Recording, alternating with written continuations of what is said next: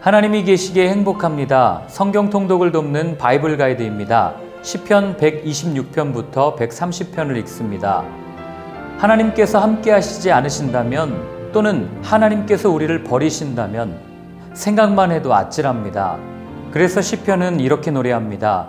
여호와께서 집을 세우지 아니하시면 세우는 자의 수고가 헛되며 여호와께서 성을 지키지 아니하시면 파수꾼에 깨어 있으며 헛되도다. 여호와를 경외하며 그의 길을 걷는 자마다 복이 있도다. 나의 간구에 귀를 기울이시는 그분이 내 아버지시니 참으로 행복합니다. 여호와께서 시온의 포로를 돌려보내실 때에 우리는 꿈꾸는 것 같았도다라는 구절로 시작하는 시편 126편은 쉬바 포로를 일반적인 포로로 번역하느냐 또는 운명의 전환으로 번역하느냐에 따라 의미가 달라지는 노래입니다. 2절에 웃음이 가득하고 찬양이 찼었다는 표현은 축제 분위기를 전하고 외국에서도 이스라엘을 구하기 위한 하나님의 놀라운 개입을 인정한다는 고백이 나옵니다. 3절에서는 큰 일을 행하신 하나님을 찬양하는 모습에서 이스라엘이 회복되었다는 것을 알 수 있습니다. 이어 5절과 6절 눈물을 흘리며 씨를 뿌리는 자는 기쁨으로 거두리로다. 울며 씨를 뿌리러 나가는 자는 반드시 기쁨으로 그 곡식단을 가지고 돌아오리로다. 이렇게 고백하며 하나님께서 그들의 삶을 바꿔주실 것을 확신하며 노래합니다.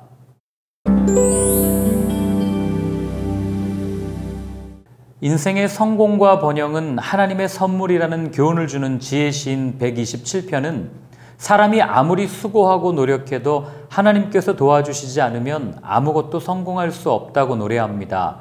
2절 여호와께서 그의 사랑하시는 자에게는 잠을 주시는도다라는 구절은 맥락에서 그 의미가 무엇인지 불분명합니다. 이에 대해 학자들은 1절에 대한 비판이냐 아니면 1절의 강조냐 두 가지 해석이 있다고 말합니다. 첫째는 아무리 열심히 해도 하나님께서 주시지 않으면 평안을 누릴 수 없기에 사람의 삶에서 일보다도 잠을 주시는 하나님이 우선이라는 하나님 없이 일하는 것이 소용없다는 비판적 해석. 둘째는 사람이 수고를 통해 무언가 얻을 수는 있겠지만 잠과 같은 평안은 하나님만이 주셔야만 누릴 수 있다는 1절에 대한 추가적 강조로 보는 해석입니다. 물론 세부적인 뉘앙스의 차이에도 불구하고 하나님이 우리 인생의 주권자이심을 선언하는 것은 동일합니다. 이어 자식을 여호와의 기업, 상급으로 표현하며 인생에 대한 하나님의 필요성을 다시 한번 강조합니다. 즉 평안, 잠, 은혜, 자녀는 하나님만이 주실 수 있기에 하나님 안에 거할 때만 상황에 관계없이 충만한 삶을 살 수 있다고 노래하는 것입니다.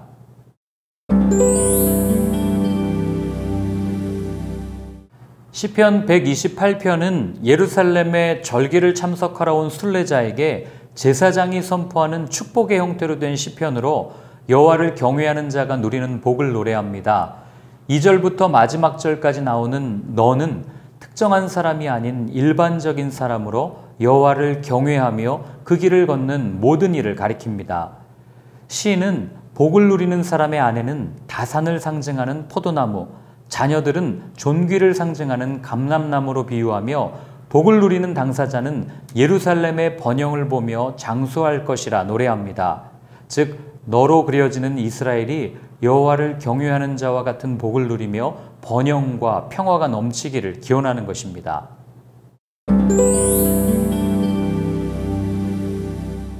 이스라엘이 어린 시절을 회상하는 사람으로 묘사되는 시편 129편은 계속해서 고난을 받는 이스라엘이 기적같이 환란을 이겨냈음을 노래합니다. 특별히 그들의 고난과 연결해 의로우신 여호와라는 말이 강조됩니다.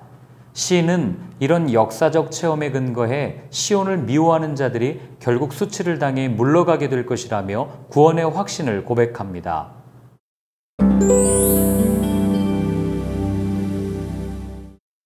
시편 130편은 죄사함을 간구하는 참회의 노래입니다. 깊은 곳에서 부르짖는 시인은 죽음이 임박한 상황에서 하나님께 부르짖습니다. 3절은 기도자의 고난이 어디에서 기인하는지 알려줍니다. 여호와여 주께서 죄악을 지켜보실진데 주여 누가 서리이까 죄악으로 인해 깊은 곳에 빠지게 된 것입니다. 4절 그러나 사유하심이 주께 있음은 주를 경외하게 하심이니이다. 사유하심, 용서하심은 하나님의 속성입니다.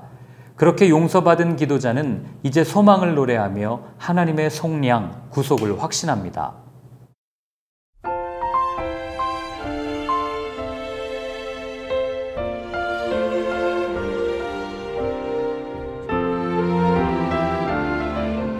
성전에 올라가는 노래를 읽고 있으면 무엇이 성공인가 다시 한번 묻게 됩니다.